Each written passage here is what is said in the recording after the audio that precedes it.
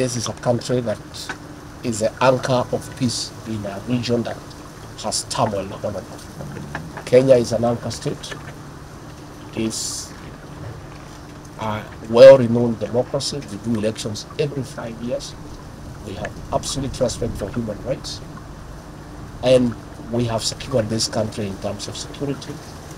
Make sure that everybody is able to come to this country and do whatever you want to do without any fear. Again, we have tightened our security system around a region that is a bit uh, uh, volatile. But this is a country where you want peace, you want a good environment to come, it's here. Again, this is a good destination for investment.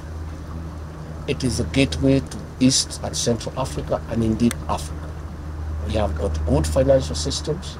We have banks that are interconnected across the world. Again, our connectivity in terms of internet is good. So when you are here, you can transact transact business across the world from the comfort of your hotel room, from the game park, from everywhere. So I really want to urge you keep on coming here, not just for matters of cooperative movement, but also come for tourism, come for business, come for holiday, and come enjoy your stay here. I want to really applaud our CS for cooperatives. Uh, Simon Chelugui is passionate and he has vigor to drive this ministry. And the president, in his own, in his own wisdom, there before, the cooperative docket was a small department in the Ministry of Agriculture.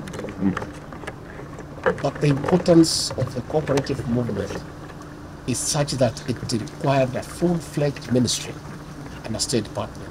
And the PS is just the right guy who's driving it and driving it well, supported by a very energetic and committed and focused principal secretary. So the president and I are very happy with our two guys. they are driving us in the right direction, and uh, I'm very happy to have received you here.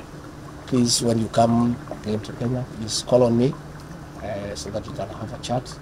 I look forward to attending the conference any other uh, meeting that you want us to attend.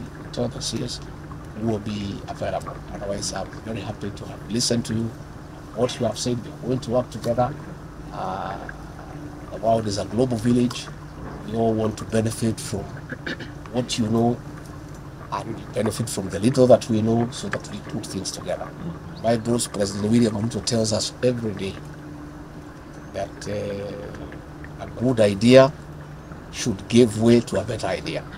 And a better idea ultimately must give room to the best idea. That can only happen when people talk and consult and share experiences. And that is what you have come to do. So I want to encourage you to continue having discussions, continue interacting, continue exchanging views and ideas. Let us build a stronger cooperative movement that is good for the world and good for the inhabitants of this great world. Thank you very much. we've witnessed a tremendous growth of over 12% in the last one year. For example, Your Excellency, the total assets of the cooperatives in Kenya last year was 890 billion. As we speak today, we are now at 920 billion. And we are projecting by end of this year, we will have achieved our target of 1 trillion in terms of assets. Your Excellency, in terms of mobilizing deposits, and this is about talking, engaging members, building trust. We are in the business of selling and managing trust. We are trustees of members. And we have, when we, in last year, November, we were at 608 billion. As we speak today, Your Excellency, we are at 620 billion in deposits. And we are projecting by end of this year, we will be at 770 billion in terms of deposit. That will mean that over 30% of the Kenya deposit, both in banks and SACCOs, 30% of this money will be in SACCOs. That is a significant statement about the role and importance of the SACCOs. Your Excellency, in terms of loans, we've also stretched our lending capacity. We were at 667 billion last year. Today we are now at 680 billion and we are projecting, Your Excellency, by end of this year, we will have hit our target of 820 total loan portfolio among our circles. Finally, Your Excellency, in terms for us to fund and manage this business, we need strong capital base. Our members have not been left behind. We were, our total capital mobilized by last year was 160 billion. By June, we were at 200 billion. By December, we expect to have hit in our capital mobilization 240. Your Excellency, this cooperative movement can only succeed through constant engagement with our members. Also to mention that during the SACA Congress in Botswana, where the president, Dr. Uh, Eric Masisi, and the CS was part of uh, the, the, the, conference representing His Excellency uh, Dr. William Ruto. Uh, one of the things that the president mentioned on the table that we are seated was the government of Botswana was going to do something, and uh, the CEO, Kefwile, was part of the conversation. I'd like to be open and transparent to mention that the government of Botswana has initiated a process of providing a POSCA with diplomatic status.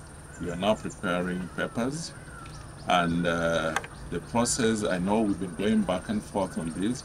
The CS has been supportive, but I know the team here, when we discussed with our close leaders, they felt, I'm sorry, They felt we need to find a way of it happening in Kenya, not in Botswana, because of the geographical location of Kenya.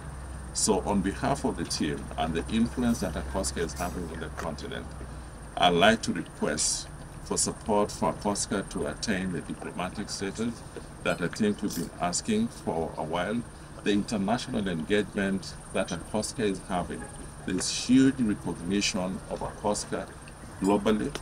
And I know in terms of employment in the country, ACOSCA has employed numerous uh, leaders. Uh, I've also supported a number of people have been employed to support other countries who come from Kenya. That's my humble plea through the CS, uh, because we know that if that happens, it will make the work that we are doing, not just financial cooperatives, but cooperatives as whole, not in Kenya, but the continent better. This is an opportunity for us to learn from you, as well as to impart maybe some lessons learned from our past on things and how we operate as credit unions. We believe the CEO Summit by ACOSCA is an opportunity for all of our organizations to grow and learn how to be better and how to serve our communities and to serve our members. We believe these shared lessons make us better in our operations. Now, each of the credit union CEOs that you see here have different stories. They serve different groups of memberships, and they have different policies and different procedures. But what unites all of us, the SACCOs and credit unions, is our fixated focus on serving the members and the community. We believe that one of the best ways of achieving financial stability and financial success for communities and households is through a cooperative system that the SACCOs represent. Because with our way of doing business, we can help households rise, regardless of where they started in their financial journey. One of the conversations we've been having here in the last few days has been on servant leadership. It is our understanding that servant leadership is an advanced way of leading an organization. It causes the leaders to focus on the stakeholders of the organization, most importantly, the members, but also everybody in the community that's connected to the SACCOs in some way. And that kind of leadership help us do our business better. The cross-continental diplomacy that's occurred from our country and other countries through ACOSCA, we believe makes all of our organizations better and lead, for, lead to better communities for everyone. I understand very, very well the importance of good regulation, a robust regulatory framework. And in the United Kingdom, I think we do have a very good regulatory framework that credit unions sit within. And we've had that since 2002, and it's been a blessing because when we moved SACCOs into the banking framework, it meant we had security for our members, and every pound in a SACCO in the United Kingdom is secure and is safe. So no member since 2002 has ever lost their savings in a SACCO in the United Kingdom. But what I also wanted to talk about today was the work that ACOSCA is doing in the regulatory space. Like Lois, I've been coming, not as long as Lois, but I've been coming since 2014 uh, to Kenya and, and keep coming back because of your beautiful hospitality here.